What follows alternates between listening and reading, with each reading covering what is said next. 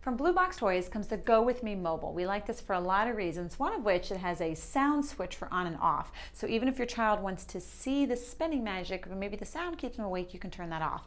Another great feature is everything is soft, washable, really sturdy fun, but you can also pop off these characters, attach them to your stroller and take them with you as really great pool and plush toys. It's for ages zero to five months and it's a nice introduction from Blue Box who does a lot of great infant products. And so for more of those and other great infant play, be sure to check out timetoplaymag.com.